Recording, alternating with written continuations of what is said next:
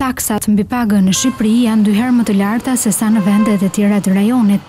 Vlerësimi vjen nga Banka Botërore në raportin e fundit ekonomik për Ballkanin Perëndimor, ku institucioni financiar ndërkombëtar thotë se norma progresive prej njëzet e tre për qind është unike në të gjithë rajonin dhe dukshëm më e lartë se sa ajo që aplikojnë vendet e tjera fqinje.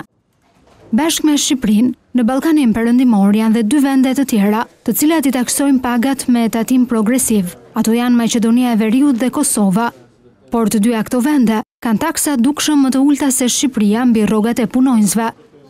Sipas Bankës Botërore, në Maqedoninë e Veriut taksa maksimale mbi pagën është tetëmbëdhjetë për qind, ndërsa në Kosovë, ajo është dhjetë për qind. Në të gjitha vendet e tjera të Ballkanit Perëndimor, Serbi, Bosnje dhe në Mal të Zi, pagat taksohen me taksën e sheshtë, dhjetë për qind, pavarësisht nivelit të tyre.